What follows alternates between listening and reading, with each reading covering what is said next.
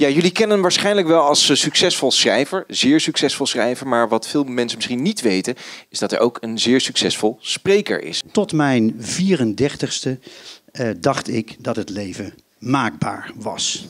Als iets me niet bevalt, dan verander ik het gewoon. Jut zei in de laatste week tegen me: ga gewoon een boek erover schrijven. Wat we meegemaakt. Wat we hebben meegemaakt met alles, met dat vreemdgaan, alles. Doe het maar gewoon.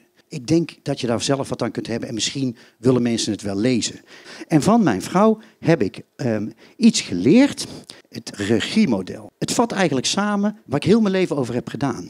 En er zijn een aantal dingen in je leven waar je geen controle over hebt. Uh, iets loopt anders. En dan komt er in een reflex. En de een zegt, ik word gek. De ander wordt gillen. Ik, er komen meteen een paar vloeken bij mij uit. Dit had niet zo mogen zijn. Waarom heb ik die pech? Wat kunnen we kiezen? Kan ik het veranderen? Nee. Dan is de volgende, kan ik het accepteren? En dat is de moeilijke. Dat lijkt de makkelijke. Maar dat is de moeilijkste dat er is. Wat het ook is, kan ik accepteren dat mijn bedrijf een kant op gaat die ik eigenlijk niet zo leuk vind als werknemer.